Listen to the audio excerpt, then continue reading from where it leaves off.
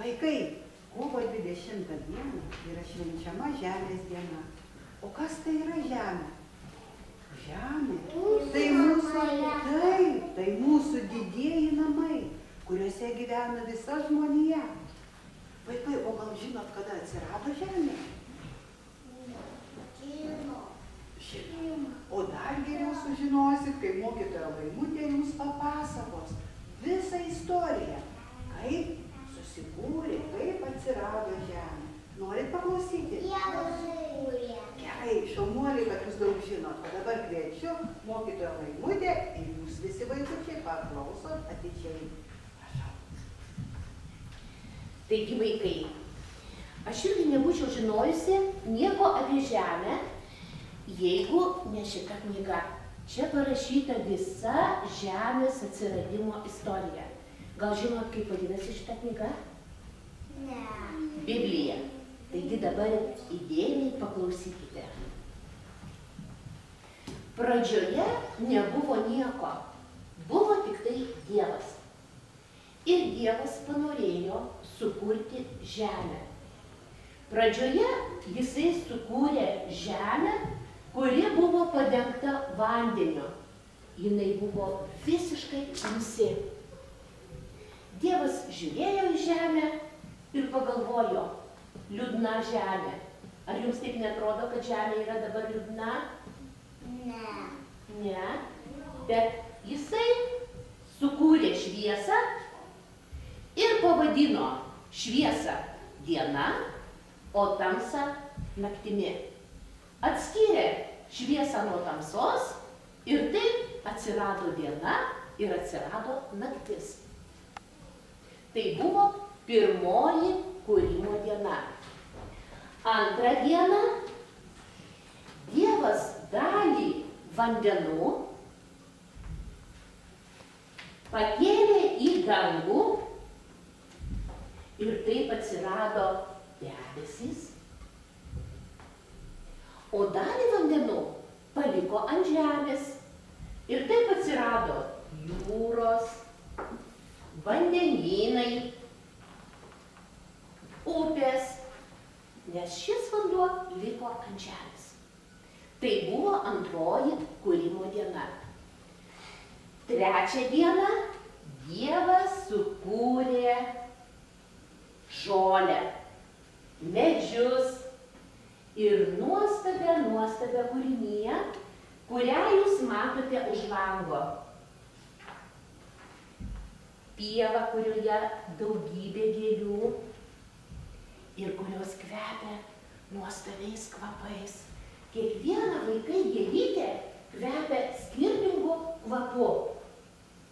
Užaugino medžius.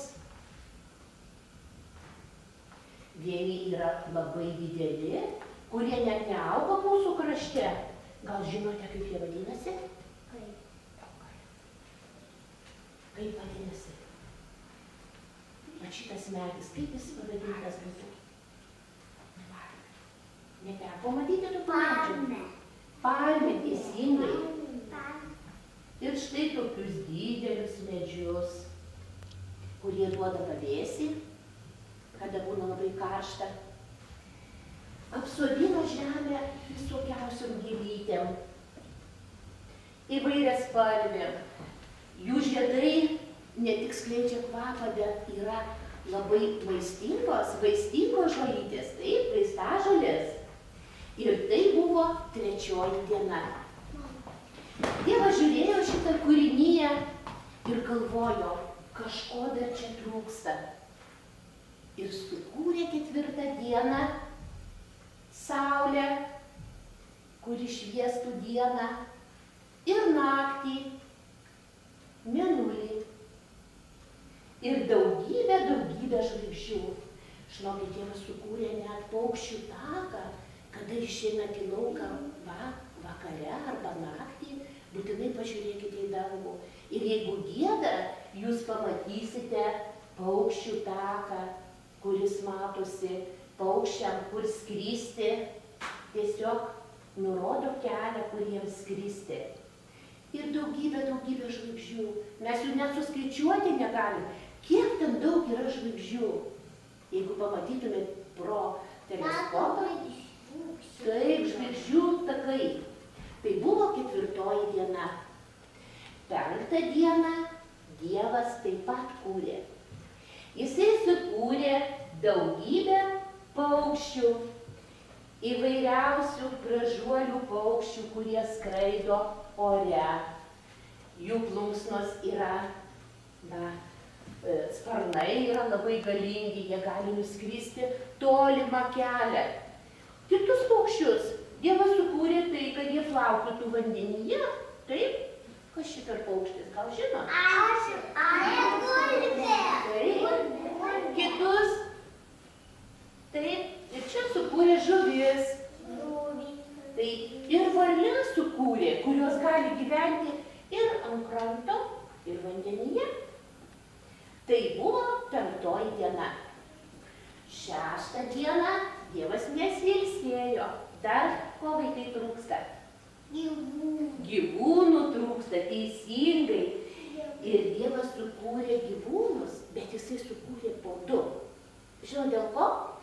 Kad jie galėtų daugintis. Jisai sukūrė, pavyzdžiui, du asiliukus.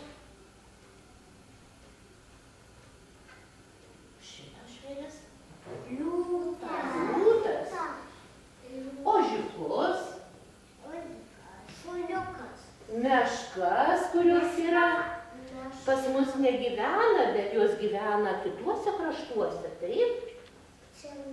Taip. Na, ir Dievas žiūrėjo šitą kūrinyje savo ir galvojo, viskas yra labai gražu, bet kažko tai trūksta. Namų. Namų trūksta, Žmonės. žmogų, žmonių trūksta, taip. Trūksta Ir Dievas- tikro. Taip. Ir Dievas sukūrė žmogų. Vyrą ir sakė jam, valdyk visus šituos gyvūnus. Ir šitie visi gyvūnai pakluso jam. Ir jisai kiekvienam iš jų davė vardus. Štai šituos gyvūnus pavadino siliukais, o šituos lokiais arba meškom, ne? Ir daugybė gyvūnų jis davė vardus. Bet pasižiūrėjus, kažkaip tai įdomu buvo liūdna. Ir Dievas sukūrė jam moterį. Ir štai jie abu e, gyveno šitoj nuostabioj kūrinyjoj, džiaugėsi su, su šita kūrinyje, bendravo. Ir tai buvo toksai gražus Dievo planas. Bet viskas vaikai labai pasikeitė. Ir žemė nebe, nebeliko tokia labai labai graži, nes žmonės, kurie pripildė žemę, pradėjo su žemė labai neatsakingai elgtis. Jie pradėjo niokoti žemę, nebranginti tai, ką žemė užaugina. Ir dabar mes turime žemę šiek tiek kitokią. Bet žemė augina pomidorus. Augina pomidorus, taip. Taip, galima, mama šiandien pasodins pomidorus. Taip, gerai. Mama šiandien pomidorus. Ačiū vaikai. Vaikai į šitą gražią žemę, į mūsų šalį atėjo pavasaris. Parskrido paukšteliai, neužilgo sužaliuos medžiai, pražydės gėlytės, saulutė šildo žandukų šiltais spinduliukais. Pasveikinkim pavasarį jūsų gražiu eilėraštuku. Kas pradeda vaikučiai?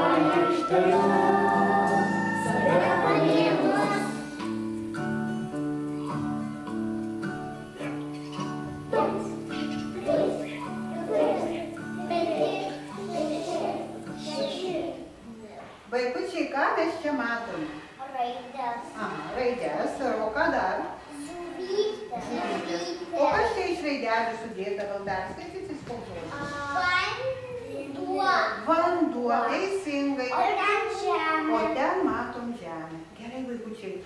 Čia yra vanduo, taip? O kas gyvena vandenyje? Žuvys. Žuvis, rykliai, kas dar gyvena vandenyje?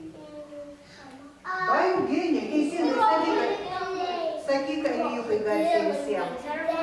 Kalmarai ir visokie, visokie vandens gyvūnai, taip? Krokodilai, taip, teisingai, upėse krokodilai gyvena. O dabar, vaikučiai, prieikim šiek tiek, pažiūrėkim į žemę, gerai? Apie vandenuką pakalbėjom, pažiūrėkim, kas žemėje gyvena. Na, o kokie gyvūnai žemėje gyvena, vaikai, gerai? Medis gyvena ir katė. Katė gyvena, kas dar? Šuniukai, gerai, kas dar? Boružėlės, kas dar? Kalakutas, kas dar žemėje gyvena? Triušiukai,